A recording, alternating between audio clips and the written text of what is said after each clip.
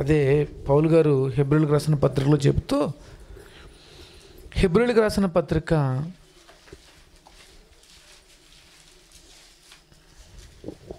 పన్నెండవ అధ్యాయము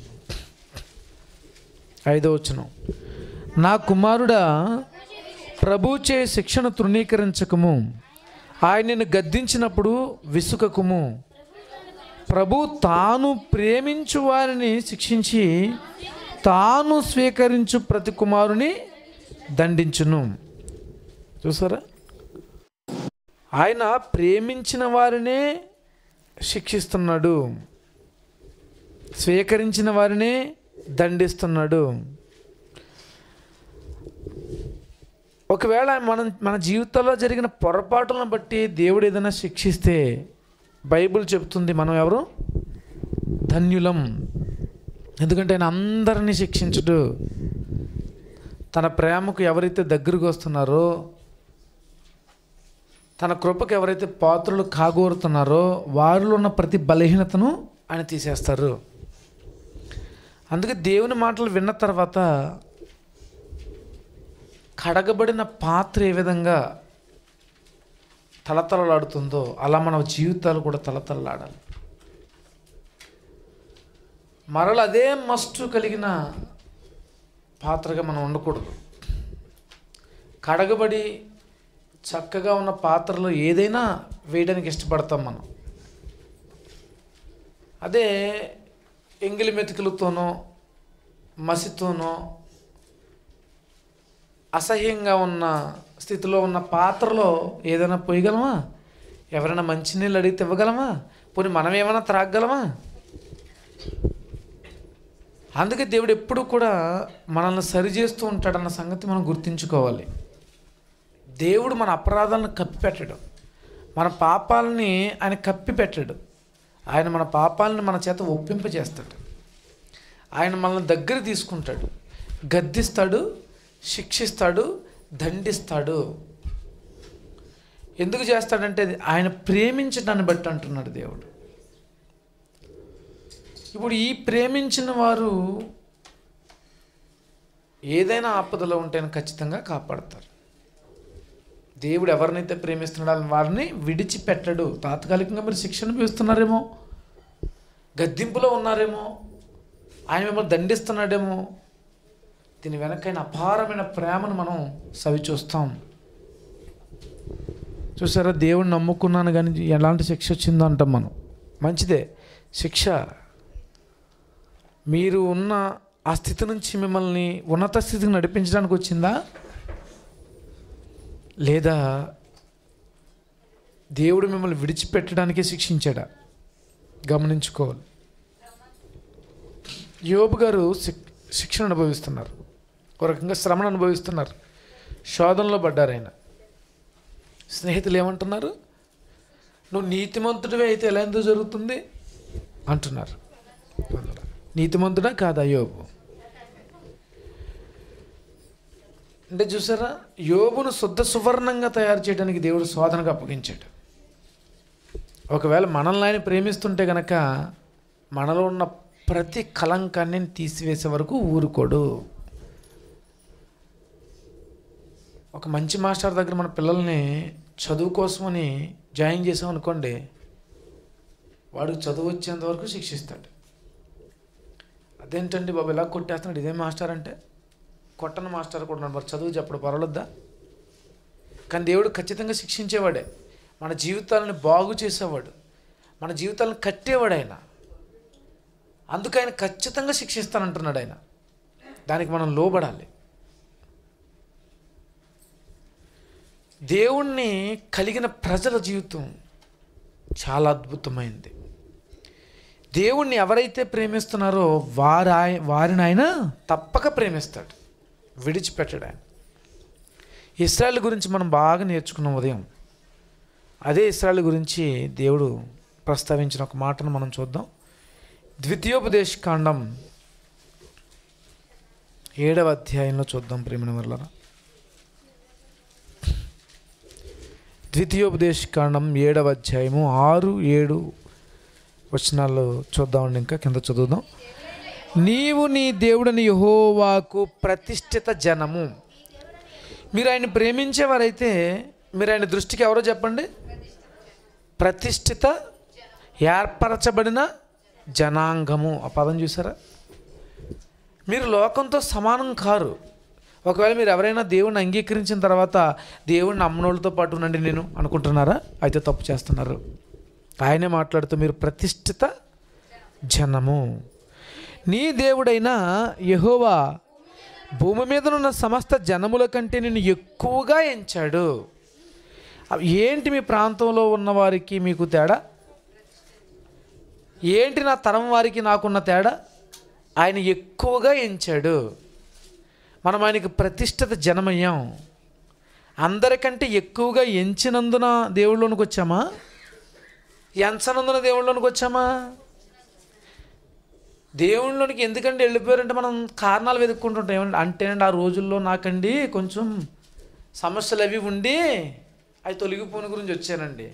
ఇల్లు కట్టుకుంటుంటే ఆగిపోయింది కదా అది కట్టబడినందుకు దేవుడిని నమ్ముకున్నానండి. ఏవో చెప్తుంటారు. నో కాదు. దేవుడు మనల్ని అందరికంటే ఎక్కువగా ఎంచినందున పదం చూసారా? ఇప్పుడు మన పక్క వాళ్ళు ఎవరైనా ఎందుకు నమ్ముకున్నావు దేవుడిని అన్నారు అనుకోండి. ఏముంది? నీకంటే గొప్పనే నేను ఎంచుకున్నాడు కనుక అనాలి. అంటే మన చుట్టూ ఉన్న వాళ్ళు ఎవరైనా దేవుడిని నమ్మలేకపోతున్నారు సత్యంలో లేరంటే అర్థం ఏంటో తెలుసా? వారికంటే మనల్ని ఎక్కువగా దేవుడు ఎంచి ఉన్నాడు. ప్రతిష్ఠిత జనముగా ఏర్పరచుకున్నాడు ఆయన నిన్ను తనకు స్వకీయ జనముగా ఏర్పరచుకున్నాడు. సొంత జనమట. వాళ్ళు ఏమరు ఎవరంటే మా ఊళ్ళండి మా రక్త సంబంధులండి. అంటుంటాం. ఎవరిద్దరు గొడవ పడుతుంటే మనం వెళ్ళిపోయి ఒకరు పక్షంగా మాట్లాడేస్తుంటాం. ఎందుకు? నీకు ఆయనకి సంబంధం ఏంటి? అంటే ఆయన మా బంధువు మా చుట్టం అంటుంటాం. అయితే దేవునికి చుట్టాలు ఎవరో తెలుసా? దేవునికి సొంత ప్రజలు ఎవరో తెలుసా? మనమే. దేవునికి స్వకీయ జనముగా మనల్ని ఆయన ఏర్పరచుకున్నాడు. మీరు సర్వజనముల కంటే ఏదో విస్తార జనమని యహోవ మిమ్మల్ని ప్రేమించి మిమ్మల్ని ఏర్పరచుకోలేదు. చూడండి మనం ఎక్కువ మంది ఉన్నామని మనల్ని ఏం కోరుకోలేదు ఆయన. ఆయనకి సంఖ్యతో పని లేదు. సమస్త జనముల కంటే మీరు లెక్కకు తక్కువే కదా. అయితే యహోవా మిమ్మను ప్రేమించువాడు గనుక మిమ్మను ప్రేమించువాడు గనుక దేవుడు మనల్ని సహజంగా ఆయనకున్న లక్షణమే అది. అలా ప్రేమించేవాడు గనుక తాను మీ తండ్రులకు చేసిన ప్రమాణం నెరవేర్చువాడు గనుక యహోవా బాహుబలము చేత మిమ్మల్ని రప్పించి దాసుల గృహంలో నుండి ఐగుప్తు రాజైన ఫరో చేతిలో నుండి మిమ్మను విడిపించాడు. ఈ దాసుల గృహం అంటే మనం లోకం అనుకోవచ్చు ఈ ఫరో రాజు అంటే సాతన్ అనుకోవచ్చు. ఆ స్థితి నుంచి మనల్ని తప్పించాడు. ఎందుకు చెప్పండి? మనల్ని ఆయన ప్రేమించాడు కనుక ఈ క్లారిటీ మనకు రావాలి. మనం ఏమనుకుంటామంటే ఏముందండి? ఆయన నమ్ముకున్నాను కనుక నన్ను నన్ను అని అనుకుంటాం. కాదు. వీళ్ళని అలా ఐగుప్తులో ఉండగానే ప్రేమించాడు మనల్ని కూడా లోకంలో ఉండగానే ప్రేమించాడు. ఒక విగ్రహారాధికుడిగా నేను కొనసాగుతున్నప్పుడే నన్ను ప్రేమించాడు. ఒక అబ్రహాము విగ్రహారాధికుడిగా ఉన్నప్పుడే ప్రేమింపబడ్డాడు. ఆయన ప్రేమించాడు కనుకే మనం దేవుళ్ళలోనికి రాగలిగాం ఈరోజు. ఆయన ప్రేమించటానికి. ఆయన ప్రేమించాడు ముందు. ముందు మనం ప్రేమించలేదు ఆయన్ని. ఆయనే మనల్ని ప్రేమించాడు. ఇప్పుడున్న మనల్ని ఆయన ఎలా ప్రేమించాడు? తన కుమారుని బలిచ్చి మరీ మనల్ని ప్రేమించాడు. ఆయన మన మీద ఆయనకున్న ప్రేమను ఆ కుమారుని బలి ద్వారా చాటుకున్నాడు. మనం ప్రేమించిన ఆయన్నే ప్రేమించడానికి వచ్చాం తప్ప ఎవరో దిక్కు తెలియని వారినో లేకపోతే మనకి పరిచయం లేని వారినో ప్రేమించడానికి రాలేదు దేవుళ్ళలోనికి. మనం మన తండ్రిని ప్రేమించడానికి దీంట్లోనికి వచ్చాం. ఆయన మార్గంలోనికి వచ్చాం. ఆయన చూపించిన ఈ త్రోవలో ముందుకు సాగుతున్నాం. చూసారా? అదే అంటున్నాడు ఆయన. కాబట్టి నీ దేవుడని యహోవా తానే దేవుడని. తన్ను ప్రేమించి తన ఆజ్ఞలను అనుసరించి నడుచుకున్న వారికి తన నిబంధన స్థిరపరచు వాడని. చూసారా? తానే దేవుడు. తనను ప్రేమించి తన ఆజ్ఞలను అనుసరించి నడుచుకున్న వారికి తన నిబంధన స్థిరపరచువాడును వేయి తరముల వరకు కృపచూపువాడును నమ్మదగిన దేవుడని. ఎవరికమ్మ నమ్మదగిన దేవుడు దేవుడు? దేవుడు ఎవరికి నమ్మదగినవాడు? మనకు అర్హత లేకుండా ఆయన నమ్మదగినవాడండి? అంటే పై పై మాటలు అవుతాయి అవి. అర్హత ఉంది ఇక్కడ. ఆయన ప్రేమించాలి ఆయన ఆజ్ఞలను అనుసరించి నడుచుకోవాలి తన నిబంధనను స్థిరపరచాలి. వెయ్యి తరముల వరకు ఆయన కృప చూపుతాడు గనక ఎవరైతే ఆయన ప్రేమిస్తారో వారికి ఆయన నమ్మదగిన దేవుడని. ఒకవేళ ద్వేషిస్తారా? అయితే ప్రతి వారిని బహిరంగంగా నశింపచేటుకు వారిని దండ వానికి దండన విధించువాడని నువ్వు తెలుసుకోవాలి. ఆయన తను ద్వేషించువాని విషయం ఆలస్యం చేయక బహిరంగంగా వానికి దండన విధించును. కాబట్టి నేడు నేను నీకు ఆజ్ఞాపించు ధర్మం అనగా విధులను కట్టడలు. మీరు అనుసరించి ఇది ప్రేమ. ఉదయం దేవుని ప్రేమించటం అంటే కట్టడలను విధులను ఆజ్ఞలను గైకొనాలని నేర్చుకున్నాం. అలా చేసేవారిని దేవుడు ప్రేమిస్తాడట. ముందు ఆయన మనల్ని ప్రేమించాడు ఇప్పుడు మనం ఆయన ప్రేమిస్తే మరింతగా మనల్ని ప్రేమించి స్వకీయ జనాన్ని చేసుకుంటానంటున్నాడు ఆయన. ఆ ప్రేమ మనం పొందుకోగలుగుతున్నామా? ఆయన ప్రేమించిన వారే ప్రేమను పొందుకోగలుగుతారు. ఆయన సరిగా అర్థం చేసుకోలేని వారు ఈ ప్రేమను పొందుకోలేరు. తమ జీవితాలు మార్చుకోలేరు. దేవుడే మనల్ని ప్రేమిస్తే మన జీవితానికి అసలు లెక్కలు కట్టగలమా మనం? ఇంత ఉంటుందని అంత ఉంటుందని? లేదండి. నన్ను ప్రేమించే వారికి సమస్తాన్ని సమకూర్చి జరిగిస్తున్నాడు అది ప్రేమ. నన్ను ప్రేమిస్తున్నావు కనుక నీకు ఇది చేస్తానంటే అది ప్రేమే. చేయటం కూడా ప్రేమే. జరిగిస్తానంటున్నాడు. అద్భుతమైన ప్రేమది లోకానంతా క్రీస్తుని బలిచి ప్రేమిస్తున్నాడు. ఆ బలిని స్వీకరించి ఎవరైతే దేవుని గౌరవిస్తారో ఆయన మాట ప్రకారం జీవిస్తారో వారిని ప్రత్యేకంగా ప్రేమిస్తున్నాడు ఆయన. ఇప్పుడు మనం ప్రత్యేకింపబడిన వారమేనా? ప్రతిష్ఠిత జనమేనా? అందరిలో గొప్పవారిగా ఎంచబడిన వారమేనా? దేవునికి స్వకీయులమేనా అలా అయితే ఆయన ప్రేమ మన ఎందు నిలిచి ఉన్నది. లేదంటే కనుక ఆయన ప్రేమకు మనం నోచుకోం ప్రేమైన వాళ్ళ మాట అనుకోవడం తప్ప నేను దేవుని ప్రేమిస్తున్నానండి అంటారు మీరు. ఇంతకీ దేవుడు మిమ్మల్ని ప్రేమిస్తున్నాడా?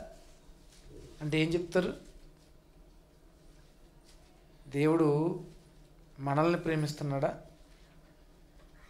ఏం చెప్తాం ప్రేమల వాళ్ళరా ఏమోనండి ప్రేమిస్తున్నాడని అనుకుంటున్నామండి. ప్రేమిస్తున్నాడో అది లేదో తెలియటం లేదండి. అంటుంటాం. ఆయన ప్రేమ కూడా మనకు అర్థమవుతుంటుంది. ప్రతి పరిస్థితి నుండి మనల్ని పవిత్రతలోనికి నడిపిస్తుంటుంది ఆయన ప్రేమ. అదే అర్థం చేసుకుంటూ ఉండాలి. లోకంలోనికి వెళ్ళాలని వెళ్ళిపోగలుగుతున్నానంటే నేను ఆయన చేత ప్రేమించబడ్డం లేదు. ఆ ప్రేమ నన్ను వెనక్కి నెడుతూ ఉంటుంది. నేను ఆయన ప్రేమించిన వ్యక్తిని అయితే ఆ ప్రేమ నన్ను వెనక్కి నెడుతుంటుంది వద్దు. లేదు నా నేను ఏదనుకుంటే చేయగలుగుతున్నాను దేవుడిలో తప్పు కూడా చేయగలుగుతున్నాను అంటే అర్థం ఏంటి? ఆ ప్రేమ నేను రుచి చూడలేకపోయాను. నేను సరిగా ప్రేమించలేకపోతున్నాను ఆయన్ని. ఆయన మాట ప్రకారం జీవించలేకపోతున్నాను. ఆయన ప్రేమ నా ఎందు నిలిచి ఉండదు. ఆయన ప్రేమ ఎప్పుడైతే నా ఎందు నిలిచి ఉండదో పాప బంధకాల నుంచి నేను తప్పించుకోలేను.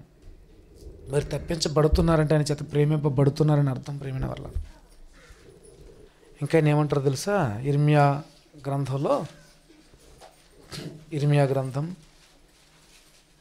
ముప్పై ఒకటవ అధ్యాయము.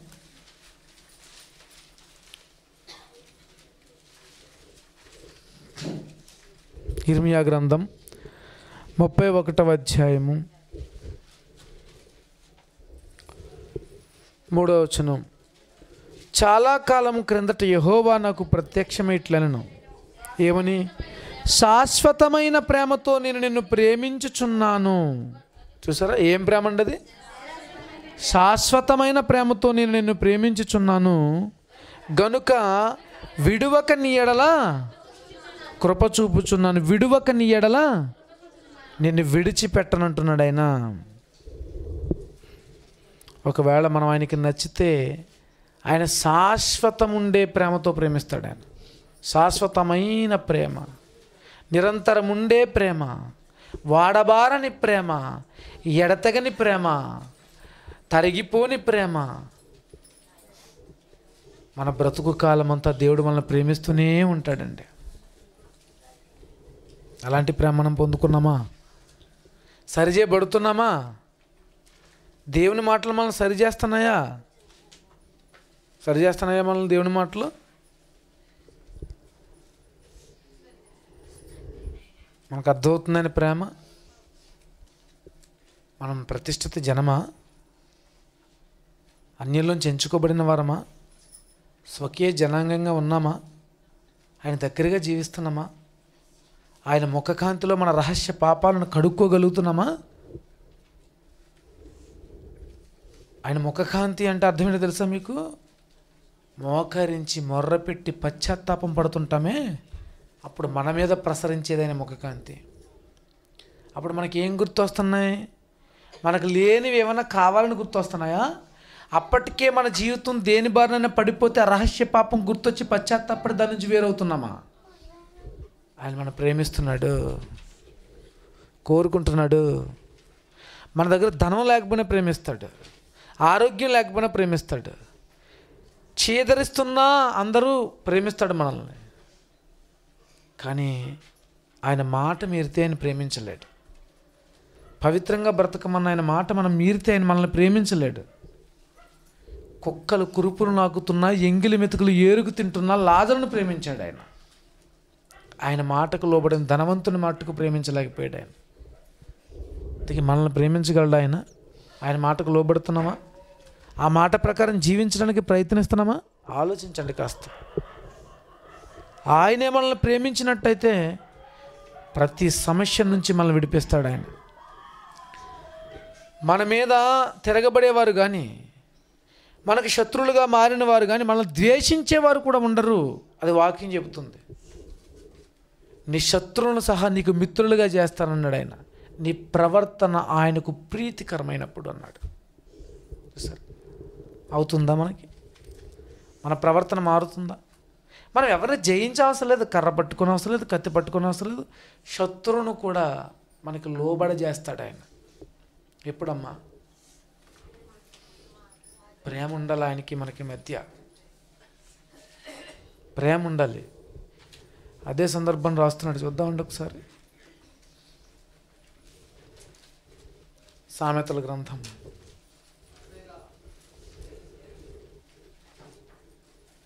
పదహారో అధ్యాయము ఏడవచనం ఒకని ప్రవర్తన యహోవాకు ప్రీతికరమగినప్పుడు అంటే ఆయన ఆజ్ఞ ప్రకారం జీవించినప్పుడు ఆయన కట్టడను బట్టి నడుచుకున్నప్పుడు ఆయన నీతి విధిని నెరవేర్చినప్పుడు ఆయన వాని శత్రువులను సహా వానికి మిత్రులుగా చేస్తాడు. చూసారా? ఆయన శత్రువులు ఆయన మీకు ఎవరైనా శత్రువులు ఉన్నారా? మీరు దేవుని మాట వినేవారైతే ఎప్పుడు కలిసిపోదామని చూస్తుంటారు వాళ్ళు మనతోటి. మన దేవునికి విరోధం అయితే మనతో ఇంకా శత్రుత్వాన్ని పెంచుకుంటూ ఉంటారు వాళ్ళు. మన శత్రువును జయించే రహస్యాన్ని కూడా ఇక్కడ పెట్టాడు ఆయన. నాకు శత్రువులు ఎక్కువ ఉన్నారు ఇప్పుడు నేనేం చేయాలి? దేవుడి మాట ప్రకారం జీవిస్తే చాలు. ఆయన ఏం చేస్తారు?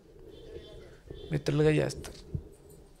మిత్రులు అవ్వకపోతే ఎవరికి నష్టం? ఏ ఎందుకని? అదండి. ఇలా ఎందుకు ఆలోచించలేకపోతున్నాం మనం? మనం ఎందుకు తొందరపడుతున్నాం? యశ్యా గ్రంథం. నలభై మూడవ అధ్యాయం.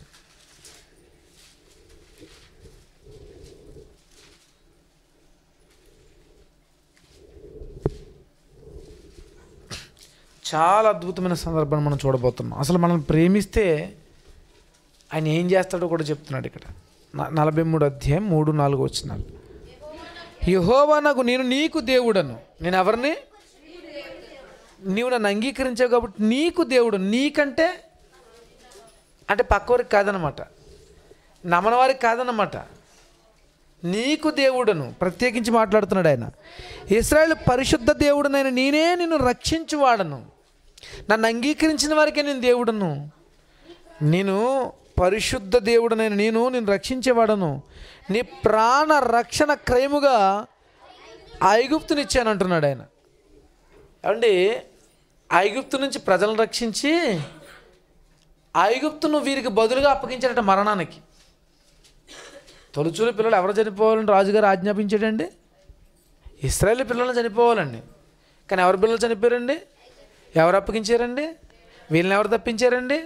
అది దేవుడు ప్రేమించటం.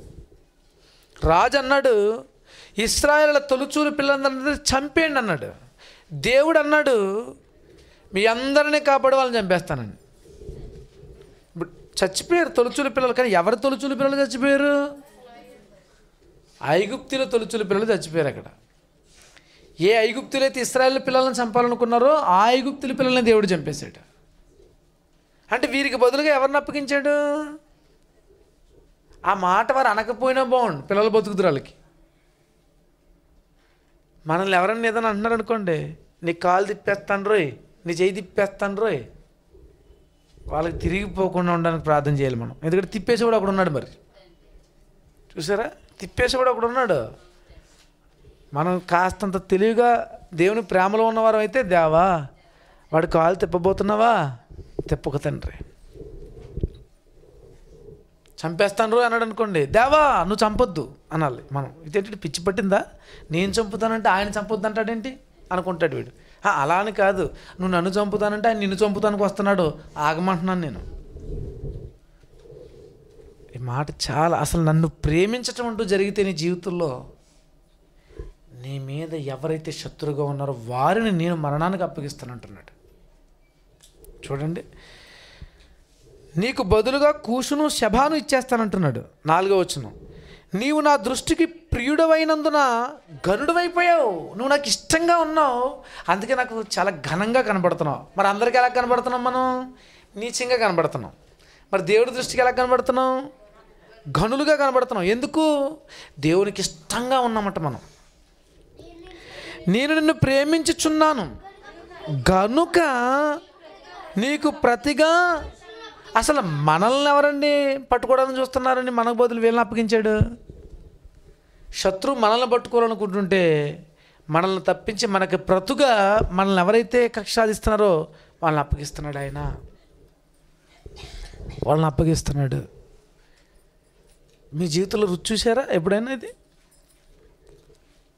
దేవుణ్ణి మనం నమ్ముకున్న తర్వాత ఎవరైనా మన మీద కత్తి కడుతుంటే దేవుడు వారినే కష్టాలకు అప్పగిస్తున్నాడు. దేవుడు చేసే గొప్ప కార్యం అది ఎప్పుడు తెలుసా? మీరు ఆయన్ని ప్రేమించినప్పుడు ఆయన మిమ్మల్ని ప్రేమించినప్పుడు మీరు ఆయనకి ఇష్టంగా ఉన్నప్పుడు.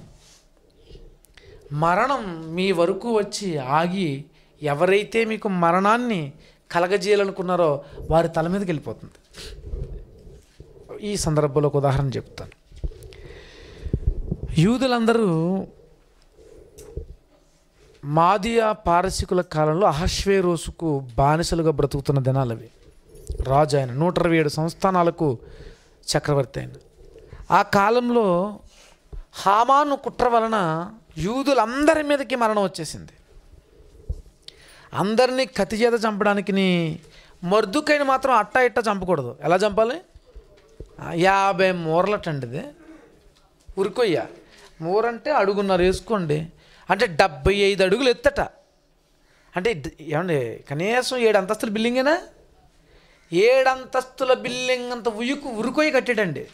అంటే ఉరి తీస్తే ఎక్కడ ఎలాడాలి ఈ శవం? అంత పైన ఎలాడాలి ఎక్కడున్న వాళ్ళకైనా సరే కనపడాలి శవం? హామాను కుట్ర మొర్దుకైకి ఉరిపడాలి. మొర్దుకై దేవుని ప్రేమించేవాడు. తన మరణం వల్ల తనకు మరణం వస్తుందని బాధపడలేదు. యూదులందరూ మరణించిపోతున్నారు. ఇదిగో దేవుడు మనల్ని అందుకేనేమో ఈ ఈ స్థితిలో మనల్ని ఉంచాడు. అమ్మా ఎస్తేరు నువ్వు రాజును కలవాలి. నువ్వు రాజుతో ఈ సంగతి చెప్పాలి. ఆమెకి ధైర్యం సరిపోవట్లేదు. నేను ఉపవాసం ఉండి ప్రార్థన చేస్తున్నాను. నువ్వు కూడా ఉపవాసం ఉండి ప్రార్థన చేయి. మొత్తానికి ఉపవాసాలు ఉండి ప్రార్థన చేసి దేవుని చిత్తాన్ని జరిగించడానికి పూనుకుంటుంటే దేవుడికి వీరు ప్రీతికరంగా మారిపోయారు. అందుకే ఎస్తేరు దే రాజ సన్నిధికి వెళ్ళినప్పుడు రాజు ఎస్తేరుని ఏంటి నీ మనమని అడుగుతాడు? అసలు చంపేమనాలట రాజు ఆజ్ఞ లేకుండా ఎవ్వరూ రాజు ప్రాస్థానంలోనికి రాకూడదట. కానీ ఆ దినం ఆశ్వేరోస్కి ఎస్తేరు మీద కనికరం కలుగుతుంది. ఎవరిచ్చారా కనికరం? దేవుడిచ్చాడు. మరుదుకే ఉపవాసం ఉండి ప్రార్థన చేస్తుంటాడు. దేవా ఈ ప్రజలు నీ ప్రజలు కాదా? ఈ ఈ శత్రువుల చేతిలో మేము చావలసిందేనా అని. కానీ మొర్దుకైకి తెలియదు పాపం. మొర్దుకైకి ఏడంతస్తుల బిల్డింగ్ అంత ఊరే అలాడుతుంది అక్కడ. హామాను కట్టించాడంత. చివరికి ఎవరు బలైపోతారండి ఎవరి కొయ్య మీద? ఏ ఎందుకంటారు? దేవుడు అప్పగించాడు. ఆశ్వేరోషు బుర్ర తిరుగుతుంది. మొర్దికేకి అధికారం ఇస్తాడు. హామాన్ అధికారాన్ని తొలగించి ఉరికొయ్యకి అలడగట్టిస్తాడు అంతే. రెండు దినాల్లో మారిపోయింది మొత్తం చట్టం అంతా. ఎందుకు? మొర్దుకై దేవునికి నచ్చాడు. మీరు దేవునికి నచ్చినవారా? ఏమోనండి ఈ పరిస్థితులు ఏంటో అర్థం కావట్లేదండి. అన్నీ నా మీదగా వస్తున్నాయండి. కదా? మరుదికి అలా అనలేదు. దేవునికి ప్రీతిపాత్రంగా జీవించడానికి ప్రయత్నించాడు. మరి మనం? మనల్ని మరణానికి గురి చేసేవారి మరణం దేవుడు వారికి కలగజేస్తున్నాడు. మన శత్రువులను అప్పగిస్తున్నాడు. అదే అంటున్నాడు ఆయన ఇక్కడ. నేను నిన్ను ప్రేమించుచున్నాను కనుక నీకు ప్రతిగా మనుషులను అప్పగించుచున్నాను. నీ ప్రాణమునకు ప్రతిగా జనములను అప్పగించుచున్నాను. భయపడకుము. గుడ్. నేను నీకు అవునండి. ఆయన ప్రేమించే వారికి ఆయన ఎప్పుడు తోడుగా ఉండి ఆయన ప్రేమిస్తాడు. నీ ప్రాణానికి నా ప్రాణం అడ్డంటాం కదా. మన ప్రాణాలు ఏం అడ్డు పెడతాంలేండి? మనం ఎప్పుడు పోతాయి? ఆ మాట దేవుడు అంటున్నాడు. నిన్ను చంపేసేవాడిని నేను చంపుతాను. ఎందుకంటే నువ్వు వంటే నాకు ఇష్టం. అప్పుడప్పుడు అంటాం రే మా వాడి మీద ఈగ వాలిందంటే చూసుకోండి అంటాం. అంటే ఈగలు దోమలు తోలుతామని కాదు. ఎవడని ఏదనంటే నా తడాక ఏంటో చూపిస్తామని. మరి మనిషి మీద మనిషికి ఎంత ప్రేమ ఉండి మనిషి ఇలా మాట్లాడుతుంటే ఇక్కడ ప్రేమించేది దేవుడు. మరి ఆయన ఎలా మాట్లాడాలి. నీకు బదులుగా మనుషులను అప్పగిస్తున్నాను. నీ శత్రువుల మీదకి రాలేరు. నువ్వు నాకు ప్రీతికరంగా ఉండు. నీ వారిలో ఎవరెవరు నీకు ఇవ్వాలి ఇచ్చేస్తాను? నీ వారిలో ఎవరెవరిని తీసేలో తీసేస్తాను. లెక్కలు ఆయనకు బాగా వచ్చాడు మనకు పెద్ద రావు లెక్కలు. కూడికులు కూడికలు తీసివేతలు బాగాహారాలు ఇవి మనకు పెద్ద రావు ఆయనకు బాగా వచ్చు ప్రభువా నా మీద ఒక యాభై మంది కక్ష కట్టారు. ఏంటంటే పరిస్థితి? నువ్వు నన్ను నమ్ముకుని నన్ను ప్రేమిస్తూ ఉండు నేను నేను ప్రేమిస్తూ ఉంటాను. అప్పుడు నేను ఏం చేస్తానంటే యాభైలో ఎంత మనకి ప్లస్ ఎంత మైనస్ పోతే ఎంత ఇవన్నీ లెక్కలు చెప్తానంటాడు ఆయన. ఆయనకి ప్రీతికరంగా జీవించాలి. దేనికి భయపడిన అవసరం లేదా?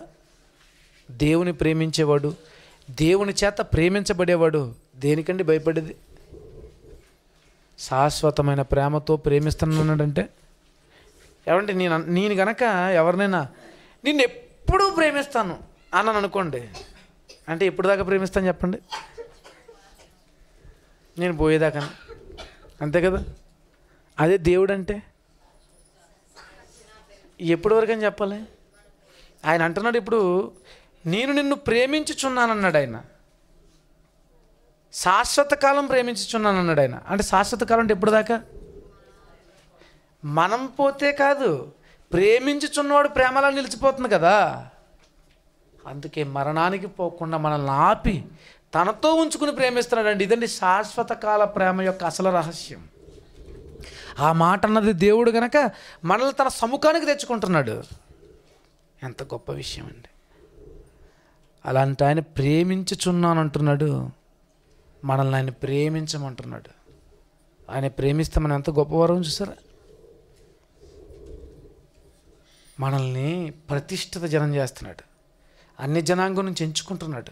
స్వకీయ జనాంగంగా మార్చుకుంటున్నాడు. ఆయన స్వకీయులు అంటున్నాడండి మనకు బదులు జనములను అప్పగించుచున్నాడు. చిరకాలం ప్రేమిస్తున్నాడు. ఎన్నదగని వారం అండి మనం అందరం మనకేముంది? క్వాలిఫికేషన్ ఏమీ లేదు. ఆయన ప్రేమించి మనల్ని ఉన్నతమైన స్థితిలో నిలబెడుతున్నాడు. ఆయన ప్రేమ ఎవరికి కావాలి మనలో? ఆయన అందరినీ ప్రేమిస్తాడా? కాదు. తన మాటను గౌరవించి ఎందరైతే ఆయన ప్రేమకు లోబడుతున్నారో వారందరినీ ప్రేమిస్తున్నాడు. ప్రత్యేకమైన ప్రేమ ఇది. అందుకే క్రీస్తుని కూడా ఏదో మనం ప్రేమించామని ఇచ్చేలేదు. ఆయన మనల్ని ప్రేమించి ఇచ్చాడు. ఆయన పొందుకున్న మనం అందరం క్రీస్తు త్యాగం ద్వారా దేవునికి దగ్గర అవుతున్నాం దేవుని చేత ప్రేమింపబడుతున్నాం. మరి ఆ ప్రేమను పోగొట్టుకుంటారా? అతనంటే చాలా ఇష్టం అన్నావు కదా. ఇప్పుడు చూడు ఎక్కడున్నాడో. ఎక్కడున్నాడు? ఆ షాప్ దగ్గర ఉన్నాడు మరి. ఛీ ఇలాంటోడు అనుకోలేదు. ఇంకెప్పుడు ప్రేమించదు అంటాం మనం అయితే అంతేనా? దేవుడు చూడండి ప్రేమిన వల్ల ఆయన ప్రేమ నుంచి మనం తొలగిపోకూడదు. ఆయన వాళ్ళని ప్రేమించుచున్నాడు కనుక జాగ్రత్తగా బ్రతకాలి. చీప్ మెంటాలిటీలో వెళ్ళిపోకూడదు మనం. చిన్న చిన్న విషయాల్లోకి వెళ్ళిపోకూడదు మనం. చిన్న చిన్న పనులు చేసి చులకనైపోయి అంత గొప్ప ప్రేమను పోగొట్టుకోకూడదు మనం. మనకు ఒక విరోధి ఉన్నాడు. మనకు బాగా స్నేహితుడు వాడు. మన మధ్య తిరుగుతుంటాడు. అందుకే నిద్ర కూడా వచ్చేస్తుంటుంది మనకు అప్పుడప్పుడు. ఎవడండి వాడు? వాడు ఏమంటున్నాడు? దేవుడి దగ్గరికి వెళ్ళి ఏమంటాడండి వాడు? ఏముంది?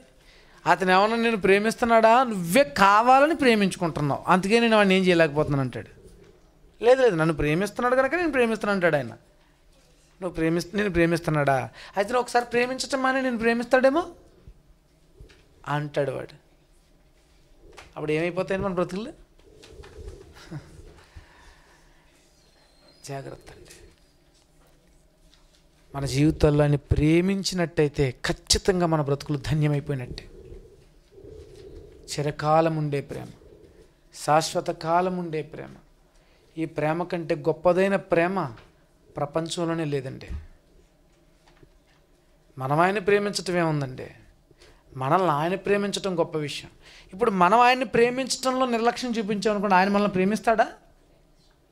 ఎంత ప్రేమించానండి. ఇలా చేస్తాడు అనుకోలేదు అంటాడు ఆయన. మనకున్న బలహీనతలు మనకున్న అవసరాలు మనకున్న కోరికలు ఇవన్నీ చిన్న చిన్నవండి. అవి తీరకపోతే చచ్చిపోతామనడానికి ఏమీ లేదే. కాస్తంత ఆలోచనాత్మకంగా ఓహో దేవుడి చేత నేను ప్రేమింపబడుతున్నాను గనక ఈ విషయంలో ఇలా ఉండాలని ఖచ్చితంగా. ఏమండి మనల్ని ఎవరైనా ప్రేమిస్తున్నారు అనుకోండి వాళ్ళ స్టేటస్కి తగ్గట్టుగా మనం ఉండాలని కోరుకోరా? నా ప్రాణ స్నేహితుడండి. అని ఒక రాజు ఓ భిక్షగాడిని అన్నాడు అనుకోండి ఎవరు ప్రెస్టేజ్ పోద్ది ఇప్పుడు? ఏ ఎందుకని? బాబు ప్రేమించని అంటున్నా అతనికి ఏమో ఒంటి మీద బట్టలు లేవు అంటారు. ఇప్పుడు ఆయన వాళ్ళని ప్రేమిస్తున్నాడు అంటుంటే కనుక మన స్టేటస్ ఎలా మారిపోద్దో చెప్పండి. చిన్న లాజిక్ గుర్తించలేకపోతున్నామండి మనం. ఆయన చేత ఎప్పుడైతే ప్రేమింపబడుతున్నామో మన జీవితాలు గొప్పగా మారిపోతాయి. అనేకులకు ఆశీర్వాదకరంగా మారిపోతాయి. ఒంటి చేతి కర్రతో బయలుదేరాడు యాకోబు. అనేక జనాంగాలకు ఆశీర్వాదంగా మారిపోయాడు. దేవుని చేత ప్రేమింపబడ్డాడు. మరి మన బ్రతుకులు? దేవుని చేత ప్రేమింపబడ్డామా? అయితే ఆ ప్రేమ ఏంటో రుచి చూస్తాం మనం. అనేకులకు పంచగలుగుతాం మనం. అనేకులు మనల్ని మనం ప్రేమించేవారిగా మారిపోతారు. ఎందుకంటే దేవుడు మనల్ని ప్రేమించుచున్నాడు గనక. దేవుడు యేసుక్రీస్తుని ప్రేమిస్తున్నాడు. ఈరోజు మీరు ఎవరు యేసుక్రీస్తుని ప్రేమించట్లేదు కదా? ప్రేమిస్తున్నారా? దేనికి? ఆయన క్రీస్తుని ప్రేమించాడు. క్రీస్తు అంటున్నాడు నీవు నన్ను ప్రేమించదు కదయ్యా? ప్రేమించావు ఇప్పుడు క్రీస్తును ప్రేమించారు ఎవరినుంటే వారిని కూడా దేవుడు ప్రేమిస్తాడు. మనల్ని ప్రేమిస్తున్నాడు. మన జీవితాలను భద్రం చేసుకునే సమయం ఆసనం అయిపోయింది. ఏమంటే ఒక పదవిలో ఉన్నాడు ఆ పదవికి తగ్గట్టుగా జీవిస్తాడండి. ఏముంది ఏదో చిన్న హోటల్ నడుపుకుంటూ దోశలు వేసుకుంటున్నా అని మధ్య ఎమ్మెల్యే అయ్యాడు అనుకోండి. ఎమ్మెల్యే అయినా కానీ అప్పుడప్పుడు వచ్చి దోశలు వేసుకుంటాడండి? వేసుకుంటే నాకు దోశ వేయండి అంట మనం వెళ్ళి. వేరే పనిలో ఉన్నాడు వేరే దోశల పనిలో ఉన్నాడు ఆయన. ఈ దోశలు వేయడానికి సమయం సరిపోదు ఇప్పుడు. అంటే ఆ చీప్గా బిహేవ్ చేయడం ఇంకా తను తగ్గించుకోలేడు. ఎందుకంటే గౌరవం పోతుంది. మరి మనకి గౌరవం ఉంది. పవిత్రంగా బ్రతకాలంటున్నాడు ఆయన. నీతిగా జీవించాలంటున్నాడు ఆయన. తప్పిపోకుండా ఉండాలంటున్నాడు ఆయన. అనుక్షణం చూస్తున్నాడు ఆయన. చెరసాలలో యోసేపును చూశాడు. సింహాల బోల్లో దానియేలను చూశాడు. అగ్నిగుండంలో షడ్రక మేషక అభిద్రగోలను చూశాడు. గొల్యాతుతో పోరాడుతున్నాడు ఎవరిని చూడలేదని చెప్పాలి? ఇప్పుడు మనల్ని చూస్తున్నాడు. ఈ గ్రామంలో ఇంతమంది అన్యుల మధ్య మన బ్రతుకు ఎలా ఉందో చూస్తున్నాడు. ఆయన మనతోనే ఉంటున్నాడు. మరి ఎలా ఉంటారు మీరు? గౌరవిస్తారు ఆయన్ని? ప్రేమిస్తారు ఆయన్ని? ఆయన చేత ప్రేమింపబడతారా? అయితే చాలా సంతోషపడతాడు ఆయన. జనములను నీకు స్వాస్థ్యంగా ఇచ్చేస్తానంటాడు ఆయన. స్వాస్థ్యంగా ఆయన ఇచ్చేస్తాడు. ఎందుకంటే నువ్వు నా గౌరవాన్ని కాపాడుతున్నావు. అప్పుడప్పుడు చూడండి అప్పుడప్పుడు అంటే ఏం తెలుస్తుందండి మీకు? మొన్న మధ్య సీఎం గారు ఒక ఆయన చనిపోయాడు కదా హెలికాప్టర్ యాక్సిడెంట్లో. అప్పుడున్న ప్రభుత్వం ఎవరిని సీఎం చేయాలని ఆలోచనలో పడింది. అప్పుడు ఎవరిని చేశారో తెలుసా మీకు? అనుభవజ్ఞుని చేశారండి ముసలాయన ఒక ఆయన్ని. చూసారా? ఎందుకని? ఎందుకని? నమ్మకంగా ఉంటాడు కాబట్టి. అంటే ప్రభుత్వాలకు కూడా నమ్మకంగా ఉన్నవాడి మీద దృష్టి పెడుతున్నారు. ఏదైనా అవకాశం వస్తే వాళ్ళకి ఇస్తున్నారు ముందు. తాత్కాలికంగా ముందు ఇతను పెడదామండి. తర్వాత ఈ పరిస్థితులు అంటే చక్క పెడదామండి అనుకున్నారు. మరి ఈరోజు అలాంటి పరిస్థితి వస్తే మరి అలాంటి అర్హతకు ఎవరు నోచుకుంటారు మనలో? ఉన్నారు ఎవరన్నా? వెతుకుతాడండి ఆయన. ఏమంటే ఒక సౌలు మార్గం తప్పిపోయాడు. మరి ఇప్పుడు రాజు కావాలి. వెతుకుతున్నాడా లేదా? దొరికాడా లేదా? ఎక్కడ దొరికాడు? గొర్రెలు మేపుకుంటున్నాడు అరణ్యంలో. అక్కడ దొరికాడు. ఎవరికి? దేవునికి. ఎంతో ఉన్నతమైన స్థితి మన కోసం ఎదురు చూస్తుంది. నమ్మకంగా పనిచేయటం మీ చేతనవుతుందా? దేవునికి ప్రీతిపాత్రులుగా నమ్మకస్తులుగా. అలెగ్జాండర్ దగ్గర సైనికులు ఉన్నారట. చచ్చిపోరంటే చచ్చిపోయాడట వాడు.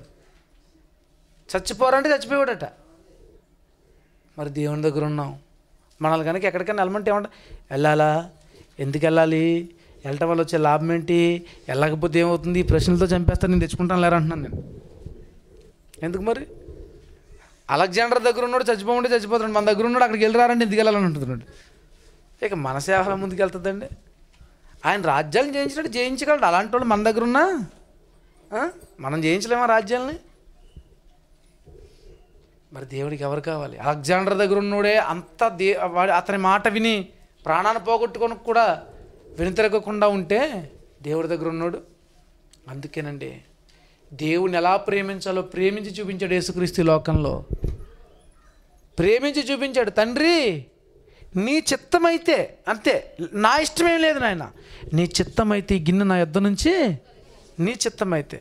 నా చిత్తం కాదు అయితే చచ్చిపోవడానికి నేను సిద్ధం అన్నాడు అంతే ఈ గిన్నె తీయటం నాకు ఇష్టం లేదు. అయితే ఇప్పుడే చచ్చిపోతాను నేను. ఇప్పుడే అప్పగించబడతాను. ఆ మరణానికి తను తను అప్పగించుకుంటున్నాడు చూసారు? అంటే దేవుడు చనిపోతావా? అంటే చనిపోతాను అంటున్నాడు ఆయన. శిష్యులు కూడా అదే చెప్పాడండి. పేతుర్ని పిలిచి ఏమంటాడండి? పేతుర్ని పిలిచి వ్యవహార కుమారుడు సిమోను నీవు నన్ను ప్రేమించుచున్నావా? నన్ను ప్రేమించుచున్నావా? దేనికి? చనిపోవడానికి ప్రేమించుచున్నాను. చనిపోయాడండి పేతురు. మరి మనం అంటున్నాం ఇప్పుడు.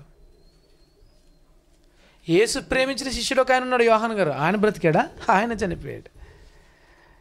మనం మాత్రం చనిపోవడానికి ఇష్టపట్టలేదు మనం దేవుని ప్రేమించాం దేవుడు మనల్ని ప్రేమించాడు. చూసారా? మన బ్రతుకులు ఎలా ఉన్నాయో?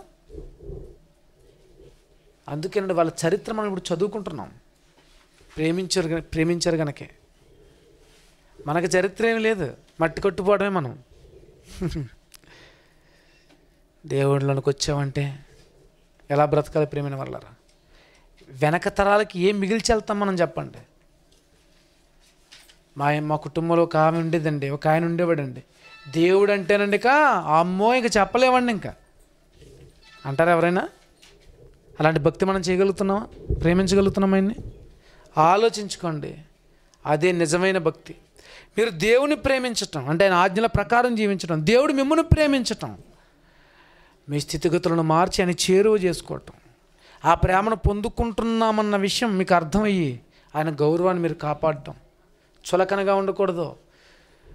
నోట పోకిరి మాటలు రాకూడదు. హేళన మాటలు రాకూడదు. సరదా మాటలు రాకూడదు. దేవుని ఉన్నతమైన మాటలు మాట్లాడే నోరుగా మన నోరు ఉండాలి ఆయన గౌరవాన్ని అన్ని విధాలా కాపాడాలి. మన బట్టల విషయంలో కాపాడాలి. మన కట్టు మన బొట్టు మన చేతలు మన క్రియలు మన తలంపులు ప్రతి విషయంలో దేవుని నేను ప్రేమించుచున్నానని చెప్పాలి. మీలో చాలామంది ఇంకా దేవుని ప్రేమించట్లేదని తెలుస్తుంది. ప్రేమించేవారిగా మారాలి. ప్రతి విషయంలో ఆయన గౌరవించాలి. ఆయన నామానికి అవహేళన మన వలన జరగకూడదు.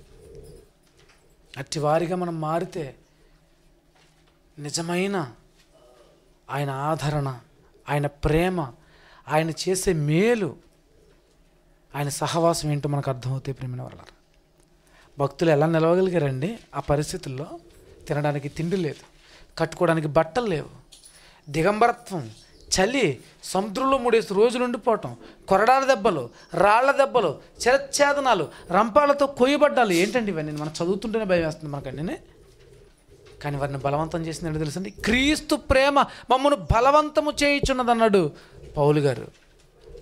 ఎందుకయ్యా ఈ పరిస్థితి? చక్కగా ఈ సేవ ఏదో విడిచిపెట్టేసి శుభ్రంగా ఏదైనా వ్యాపారం చేసుకోవచ్చు కదా? మమ్మల్ని బ్రతకనివ్వదండి క్రీస్తు ప్రేమ. మేము ఇలాగే ఉండాలి ఇలాగే మరణించాలి. మనల్ని బలవంతం చేస్తుందా ఇప్పుడు ఆ ప్రేమ? రక్షణ లేని వారు ఎందరో మన కళ్ళ ముందు ఉన్నారు. వారందరి విషయంలో మనం ఏం ఆలోచన చేస్తున్నాం? ఏడుపు కొట్టు దైవజనుడు ఒక ఆయన ఉన్నాడు. బైబిల్లోనూ ఉన్నాడు. చరిత్రలో కూడా ఒక ఆయన ఉన్నాడు. బైబిల్ ఎవరు? ఇర్మియా గారు. ఆయన ఆయన దగ్గరికి వెళ్ళి మాట్లాడితే చాలు ఏడుస్తుంటాడు ఆయన. ఏవయా ఏడుస్తున్నట్టు నిన్ను చూస్తుంటే పోయేటట్టుగానే ఉన్నావని. ఆ భారం మనకెప్పుడు వస్తుందండి? మనకి ఎదురైన వ్యక్తి మనతో మాట్లాడుతున్న వ్యక్తి నరకానికి పోయేవాడా? పరలోకం చేరేవాడా? అయితే నరకానికి పోయేవాడు మనకు తారసపడితే మనం చెప్పినా వాడు అర్థం చేసుకోలేని స్థితిలో ఉంటే మన కన్నుల కన్నీళ్ళు రాలిపోవాలి ప్రేమిన వాళ్ళ. అయ్యో ఇతడు మరణిస్తే నరకానికి వెళ్ళిపోతాడే అని. మరణించిన వారి కోసం కాదే ఆడవటం. మన కళ్ళ ముందు మరణిస్తే నరకానికి పోయే వారి కోసం ఆడమంటుంది బైబిల్. అలా చేయగలుగుతున్నామా? అది దేవుని ప్రేమ. ఏమంటే పగలంతా పరిచర్య చేసి రాత్రంతా ఎందుకంటే కన్నీరు విడిచి క్రీస్తు ప్రార్థన చేస్తున్నాడు? తండ్రికి వేదన అది ప్రేమ. దేవుడే ఈ లోకంలో ఉంటే కనబడుతున్న ఏ వ్యక్తి పరలోకానికి రాకుండా బ్రతుకుతుంటే దేవుడు ఊరుకుంటాడా? ఏడ్ చేస్తాడు ప్రేమిన వల్ల ఇప్పుడు మనం ఉంటే మనం ఆయన్ని ప్రేమిస్తుంటే ఆయన బాధ మనం అర్థం చేసుకుంటే మన బతుకులు ఎలా ఉండాలి? ఏ విధము చేతనైనా సరే మనం బ్రతుకున్నంత కాలం ఈ సమాజాన్ని రేపుతుండాలి. ఇది దేవుని ప్రేమ. అట్టి కృప దేవుడు మనకు అనుగ్రహించునుగాక. ప్రార్థన చేసుకుంటాం